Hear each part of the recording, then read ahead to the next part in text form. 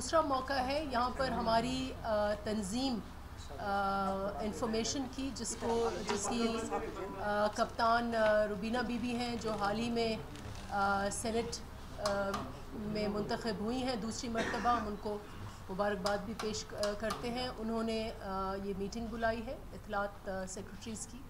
اور اس میں یہ ہم آج آپ کو بتانا چاہیں گے کہ یہ تیاری ہے جو ہمارے چیئرمین بلاول بھٹو زرداری بنو ڈویژن میں پہلا جو جلسہ یا پاور شو کریں گے، یہ چوبیس تاریخ کو ہوگا، دو بجے ہوگا، اور انشاءاللہ جیسے آپ نے دیکھا کہ ایک بہت ہی اچھی باتیں انہوں نے کی اور بہت بڑا انہوں نے جلسہ کیا جو پرائم منسٹر کے حلقے کے آس پاس کوٹلی ستیا میں انہوں نے خاص اعلانات کیے پارٹی کے پروگرام پارٹی کے منشور کے حوالے سے اور اسی کاروان کو آگے بڑھاتے ہوئے پارٹی پالیسیز کے اوپر بھی بات ہوگی اور پارٹی کا آنے والا کل جس کو ہمارے چیئرمین لیڈ کر رہے ہیں پارٹی میں کیا جدت آئے گی کیا اس کی جو فلسفہ ہے اور پروگرام ہے، اس کی بات ہوگی۔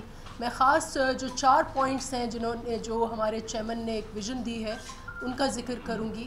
پہلی تو بنیاد جو ہے پارٹی کی، وہ شہید ذوالفقار علی بھٹے کا، بھٹو کا جو فلسفہ ہے جو طبقاتی اور ایکسپلائٹیو نظام کے خلاف جد و جہد، وہ ہماری برقرار رہے گی۔ طبقاتی نظام کے خلاف ہماری جنگ برقرار رہے گی، یہ ہماری پارٹی کی بنیاد ہے۔ دوسرا اس کا ستون ہے پاکستان پیپلز پارٹی کی ترقی پسند سیاست پروگریسو سیاست، جس میں جتنی جگہ ہمارے بھائیوں کو ہے، اتنی ہی جگہ خواتین کی بھی ہے، ترقی کے عمل میں اتنی ہی جگہ نوجوانوں کی بھی ہے، اور یہ جو بھی ہمارے اصلاحات ہوں گے، صحت ہوگی، تعلیم ہوگی، یہ ادارے ہوں گے یہ اس ترقی پسند سوچ کو فروغ دے گی۔ تیسرا اس پالیسی کا ستون یہ ہے وفاقیت۔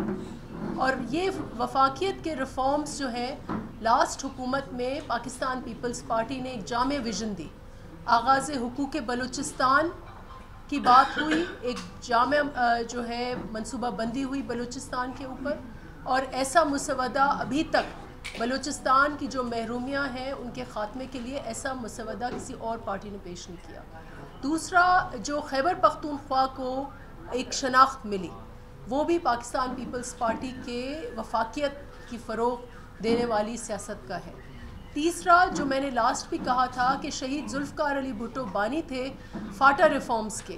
انہوں نے اپنے ٹائم میں ایک کمیٹی تشکیل دی تھی۔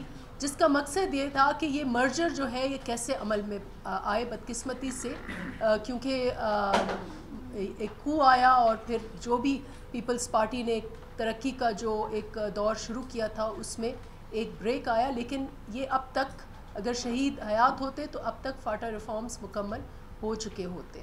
اور آخری ان کا جو ایلیمنٹ ہے، ان ان چار پوائنٹس کا، وہ جو ہمارے اسٹرکچرل ریفارم ہے جس میں سول سروس ہے، جس میں پولیس ہے جس میں جوڈیشری ہے۔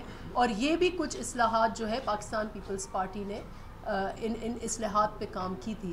باقی جماعتیں بہت بات کرتی ہیں اصلاحات کی، لیکن آپ حالت دیکھیں اور مجھے بہت یہ افسوس سے کہنا پڑ، پڑتا ہے کہ میں نے سنا ہے کہ پرائم منسٹر صاحب ایک کشکول لے کر چین پہنچ رہے ہیں اور وہاں وہ سنا ہے، اخبارات میں پڑھا ہے کہ دو ارب ڈالر کی بھیک مانگیں گے۔ یہ حالات ہیں جو انہوں نے کہا کہ ہم نے ملک کو ایک معیشی استحکام دیا۔ آپ نے یہ استحکام دیا کہ آپ کی بیلنس آف پیمنٹس، بنیادی بیلنس آف پیمنٹس کو سپورٹ دینے کے لیے آپ چین جا رہے ہیں۔ اس سے پہلے آپ نے سعودی عربیہ سے بھیک مانگی تھی۔ تو پیپلز پارٹی کے دور میں تیل کی قیمتیں، آپ کو پتہ ہے کہ کیا تیل کی قیمتیں تھیں۔ اس وقت تیل کی قیمتیں کیا ہیں؟ اور اس کے باوجود انہوں نے قرضہ جات اتنے لے لیے ہیں اور ایکسپورٹس اتنے گر گئے ہیں کہ اس وقت جو وارننگز دے رہے ہیں آئی ایم ایف وارننگز دے رہے ہیں ورلڈ بینک وارننگز دے رہے ہیں کہ ہماری معیشت جو ہے اس کو کوئی کوئی نہ کوئی ٹیکہ دینے کے لیے یہ چین جا رہے ہیں۔ اور جہاں تک ہمارے یوٹرن خان کی بات ہے، تو آپ نے دیکھا کہ تازہ کراچی میں آ کے جو شخص جو ان کی برائیاں کرتے تھے چوبیس گھنٹے، جن کی یہ خود برائیاں کرتے ہیں، آج وہ ایک ہو گئے ہیں۔ میں عامر لیاقت کی بات کر رہی ہوں۔ اور ابھی ان کے، حال ہی میں ان کے بہت قریبی ان کے ساتھی سلمان احمد نے ان کے لیے یہ ذکر کیا کہ میں، لگتا ہے کہ عمران خان صاحب مگر مچھوں کے گھیرے میں آ گئے ہیں۔ یہ ہم نے بات نہیں کی، یہ ان کے اپنے جو انٹرنل جو ان کے ساتھی ہیں یہ ان کی مایوسی کی عکاسی کر رہا ہے۔ میں زیادہ اس پر آپ بات چیت کریں گے تو اس پہ سوال و جواب ہوگا۔ میری بہن ہے، روبینہ بی بی اگر وہ اس میں کچھ ایڈیشنل بات کرنا چاہیں، اور میں ان کا شکریہ ادا کروں گی کہ انہوں نے میزبانی دی اور جتنے بھی ہمارے اطلاعات سیکرٹریز ہیں وہ سب آئے۔ ان سب کا شکریہ، اور آپ کا بھی شکریہ کہ آپ تو ہم اچھا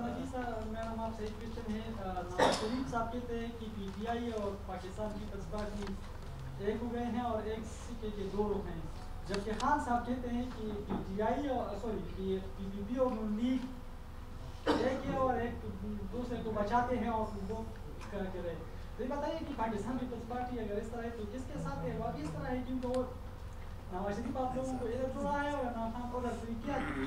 دیکھیں، پاکستان پیپلز پارٹی عوام کے ساتھ ہے، اپنے منشور سے کمیٹڈ ہے اور اپنے منشور کے حاصلات کے لیے، عوام کے مسائل کے حاصلات کے لیے اگر، کیونکہ ہم، یہ پارٹی ایک مچو پارٹی ہے، اس پارٹی نے اس ملک کو آئین دیا، سیاسی استحکام دیا، جمہوریت دی، بی بی شہید نے دو ڈکٹیٹروں کا خاتمہ کیا ذوالفقار علی بھٹو نے ایک ڈکٹیٹر کا خاتمہ کیا، جنرل ایوب کا۔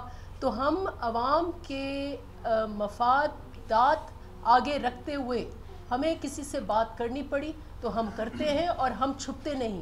جو کہتے ہیں نا صاف صاف چھپتے بھی نہیں اور آگے آتے بھی نہیں، ان دونوں کا جو ہے، یہی ہے۔ کال آف فیل میں فرق ہے۔ عمران خان یہ حقیقت مانے کہ ہم نے مل کر کیونکہ ہمارا مقصد یہ تھا کہ ہمیں جمہوریت کو ایک بیلنس دینا تھا۔ جمہوریت جو ہے وہ بیلنس کا نام ہے، چیک اینڈ بیلنس کا نام ہے۔ اور جو پچھلے تین یا چار سالوں میں جس طریقے سے پارلیمنٹ کو استعمال کیا گیا ایک شخصیت کے لیے، ایک شخصیت کو طاقت دینے کے لیے، شریف خاندان کو ایک سپیس پولیٹیکل سپیس دینے کے لیے، اس کو ہمیں روکنا تھا۔ اور ہم نے، جیسے چیئرمین نے کہا کہ ہم نے وہ روکا اور اس عمل میں اگر پی ٹی پی ٹی آئی ہمارے ایجنڈا پر آئی ہے، انہوں نے ہمارا اس میں، کیونکہ پارلیمنٹ میں مستقل موجودگی بحیثیت اپوزیشن پاکستان پیپلز پارٹی کی تھی۔ ہم نے وہ وہ چھ مہینے بھی جب یہ کبھی آ جاتے تھے، پھر کبھی باہر چلے جاتے تھے۔ کبھی کہتے تھے ہم پارلیمنٹ کا حصہ نہیں، ہم نے تو ریزگنیشن دے دیے۔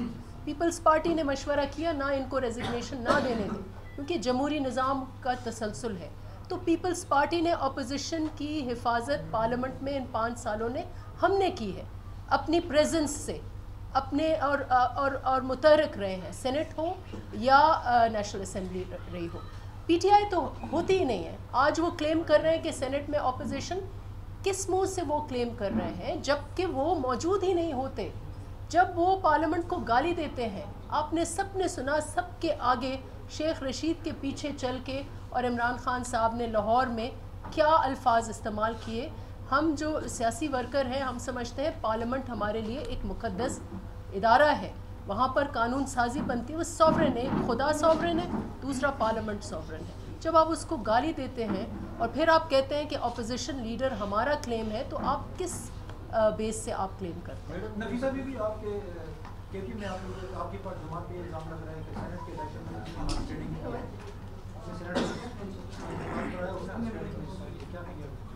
دیکھیں، جو ہمارے آپ نے دیکھا کہ اگر آپ پروفائل دیکھیں سینیٹرز کا، جہاں جس گھر میں ہم ہیں، اس اس گھر کی آپ ریپوٹیشن دیکھیں کہ کتنے، اور اسی اسی طریقے سے سینٹ کے ہمارے جو ممبرز سندھ میں سے آئے، کرشنا کماری وہ تو جو دلت ہم کہتے ہیں، انڈیا میں ان کو دلت کہتے ہیں شیڈیول کاسٹ کولی، بھیل، باگڑی، یہ کولی خاندان سے ان کا ان کا تعلق ہے اور وہ بچی کہاں، کیا ہارس ٹریڈنگ کر سکے گی؟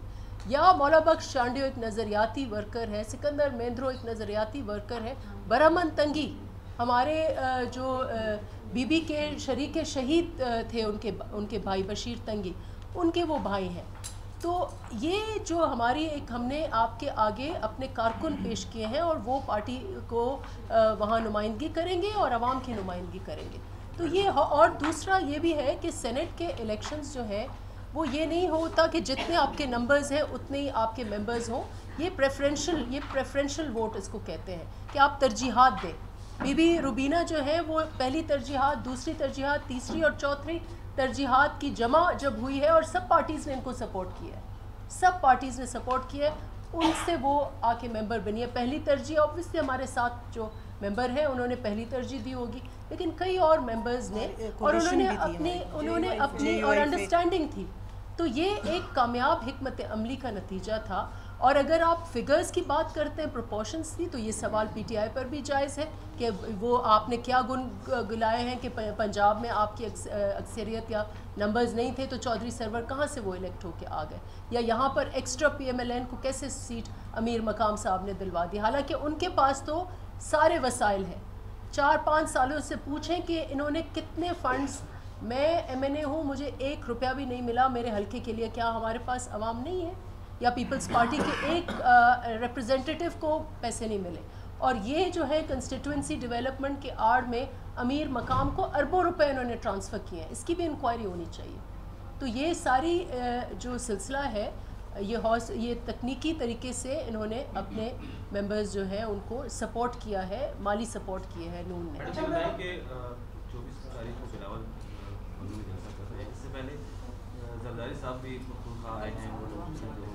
لیکن کوئی ایسی کامیابی نہ کوئی بڑا جلسہ انہوں نے کیا نہ کوئی سیاسی طور پہ ایسا کچھ وہ کوئی بڑی وکٹ یہاں پہ گرا سکے ہیں۔ کئی کئی دن انہوں نے یہاں پہ قیام بھی کیا ہے۔ نیکسٹ جو الیکشن آ رہا ہے اس کے لیے کیا کیا ایسا کوئی منصوبہ ہے؟ کیا ایسا پروگرام ہے؟ دیکھیں مجھے نہیں مجھے نہیں پتا کہ کیوں ہم لوگ اس کوشش میں ہیں کہ ہم اوروں کی وکٹیں گرائیں۔ ہمارے اپنے ورکر اتنے سارے آپ دیکھ رہے ہیں کتنے ورکرز ہیں۔ ہمارے اپنے ورکرز آئیں گے، ہمارے نوجوان ہمارا طبقہ آئے گا، ہمارے چیئرمین نے نئی تنظیم سازی اور نئی ممبرشپ اسی مقصد سے کی ہے کہ نئے لیڈرز نئے وائسز ایمرج ہوں۔ اولڈ فیسز جو ادھر سے ادھر گھومتے ہیں، وہ گھومتے رہیں گے۔ ان کی وکٹیں ادھر ادھر ہونے سے کچھ نہیں ہوتا۔ لوگ نئے چہرے دیکھنا چاہتے ہیں، لوگ نئی امنگیں اور نئے، انشاءاللہ پاکستان پیپلز پارٹی، یہ سال پاکستان پیپلز پارٹی کا سورج ابھرنے کا سال ہے، ہم نے آغاز کیا ہے۔ سینٹ الیکشنز جیتے ہیں، انشاءاللہ آگے بھی آپ کے لیے خوشخبریاں ہوں میڈم یہ بتائیں کہ یہ دو ہزار اٹھارہ کے جو الیکشن ساری دو ہزار اٹھارہ کے الیکشن جو آ رہا ہے ابھی جو سینٹ کے حالیہ الیکشن ہوئے چیئرمین آیا ہے سینٹ کا۔ تو کیا آپ کیا سمجھ رہے ہیں کہ دو ہزار اٹھارہ کی الیکشن بھی ایسی ہوں گی کہ کوئی ایسا بھی وزیر اعظم منتخب ہو کے آئے گا کہ کوئی اس کو پہچانے کا بھی نہیں اور وہ آگے پاکستان کا وزیر اعظم بنے، پاکستان پیپلز پارٹی کی طرف سے اور اس طرح دیکھیں پارٹیز جو ہیں کوشش کریں گی کہ وہ ہر پارٹی کامیاب ہو الیکشنز میں۔ اور پارلیمنٹ فیصلہ کرتی ہے کہ کون سا وزیر اعظم آئے گا۔ ہمارے لیے ہمارے ورکرز کے لیے ہمارے وزیر اعظم چیئرمن بلاول بھٹو زرداری۔ اب وہ حقیقی منصب پر کب آتے ہیں کیسے آتے ہیں؟ ہم سب کی منزل یہ ہے کہ ہم اس پاکستان میں ہمارے کینڈیڈیٹ جو ہیں وہ chairman Bilawal.